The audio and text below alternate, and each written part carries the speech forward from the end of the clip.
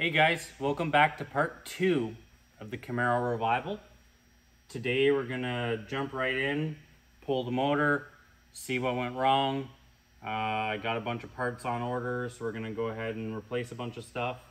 But uh, before we get too far into today's video, I would like to take a moment to thank every single person that took the time to like, comment, and subscribe. It really means a lot that so many people enjoyed that video. I've been uh, working really hard on this YouTube channel and uh, it's starting to show. So thank you guys. I really appreciate that.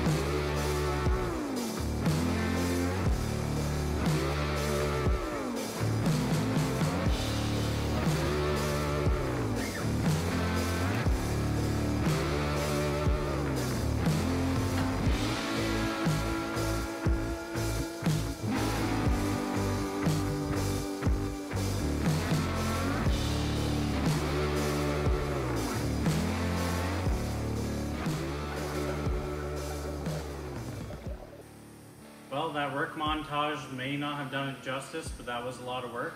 Uh, I just went home, had a shower, filled my tank. Now I'm about to fill the car's tank and we're gonna see if we can get it to run.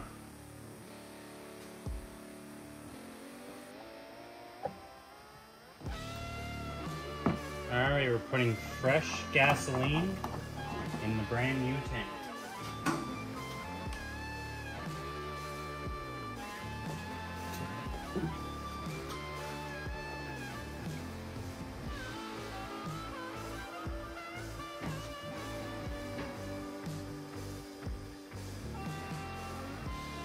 There we go.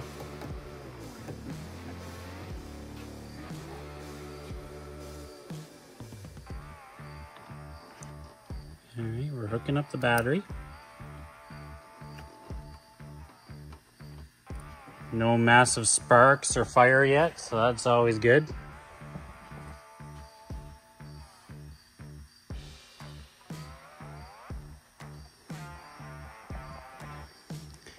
Multiple camera angles, guys.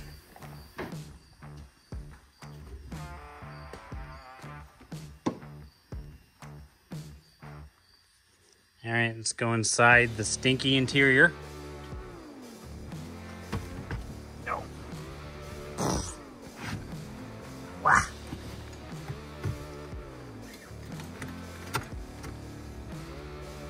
I hear a fuel pump.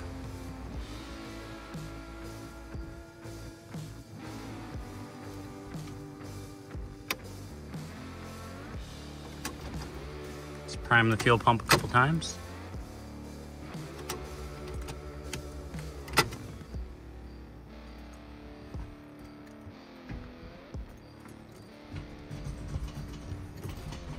Make sure we're in neutral.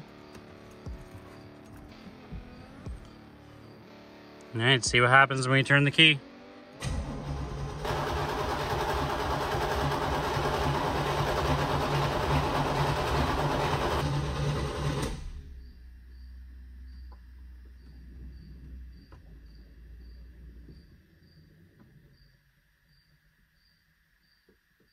All right, sounds like the fuel pump is done gurgling.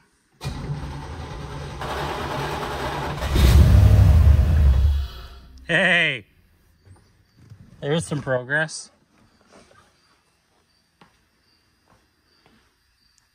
Hey, let me check the distributor because I actually think that I didn't tighten that.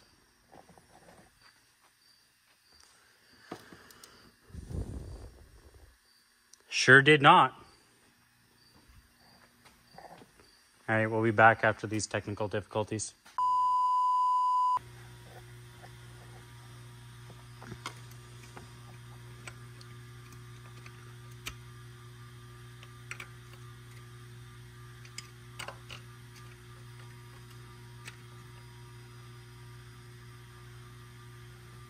All right, let's give that a try now.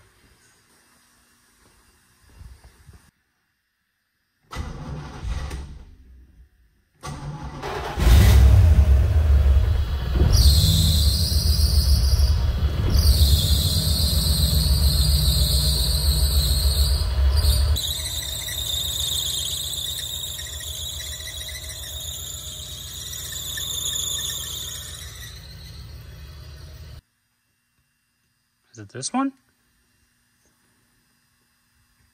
Oh no.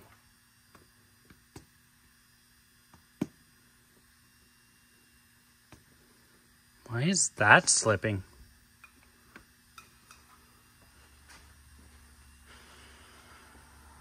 So the alternator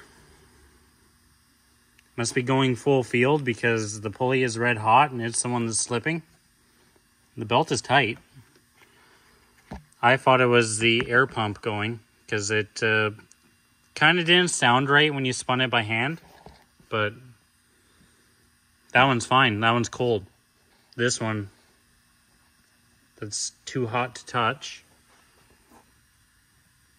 Power steering's fine. Water pump is fine. Yeah, it's the alternator. I can loosen the belts off and just run the water pump. That's what I'm going to do. All right, I got the belt off, the alternator. It spins free, so I'm not sure what's going on there. We'll have to look at it a little bit better. But I'm going to start it back up.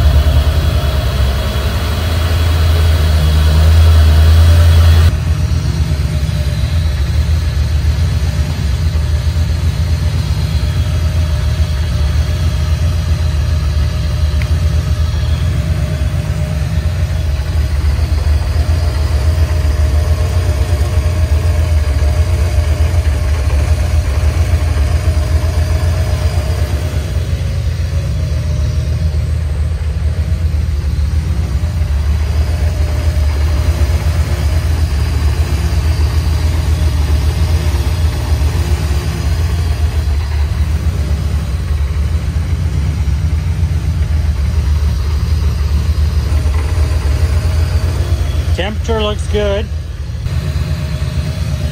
I do still need to set the timing properly. It's only rough set right now. Got plenty of oil pressure.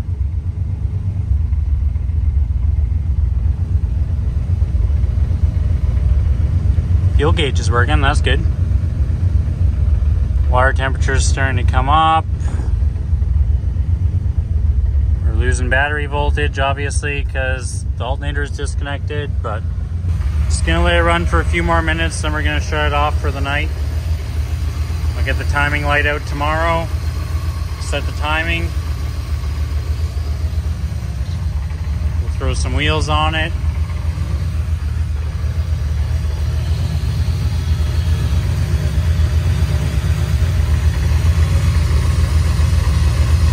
Coolant is circulating, so that's good.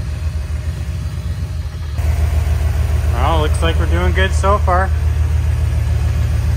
Don't have any fuel leaks, don't have any coolant leaks, don't have any oil leaks. Yeah, temperature gauge is starting to come up. Still got lots of oil pressure. Perfect.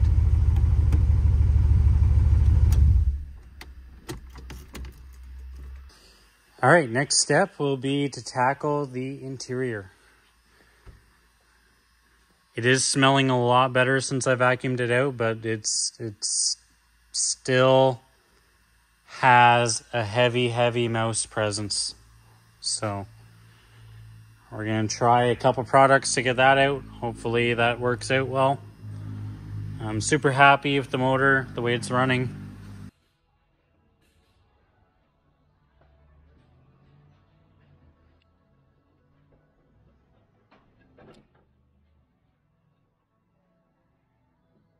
Brakes are all cleaned up and serviced. Got new tires on the rims. Got some nice new lug nuts.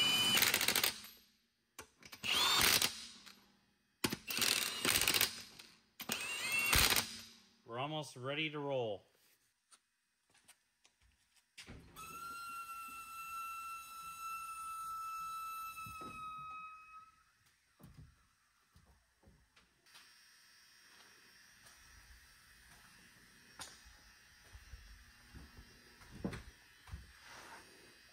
Almost there. All right, we have the new alternator. We're gonna go ahead and install that and then we're ready to hit the road for the very first time in 30 years.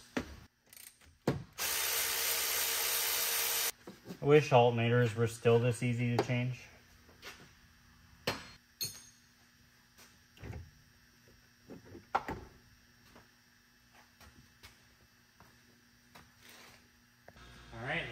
This sucker up.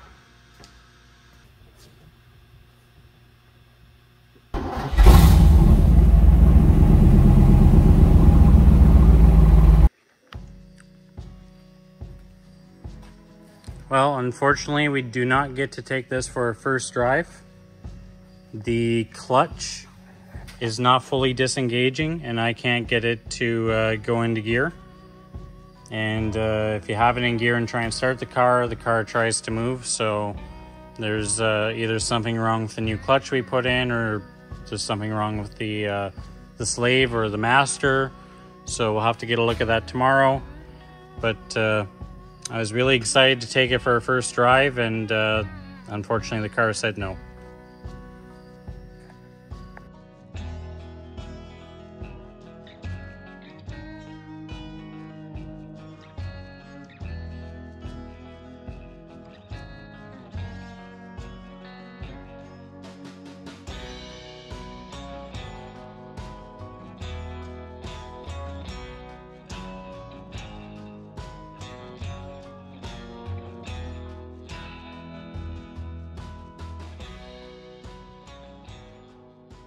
want to talk about why we replaced the motor.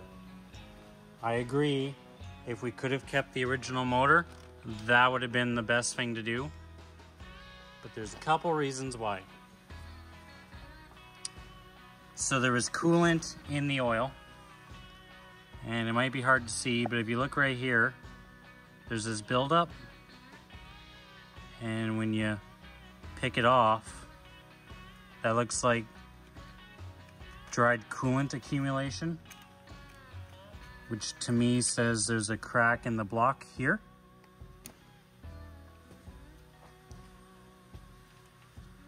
And there was another accumulation over here. Not to mention the amount of rust. There was no way we were just putting a oil pump on this engine and it was gonna be good. This thing would need a full rebuild, possibly a block. So that's why we went the direction we went.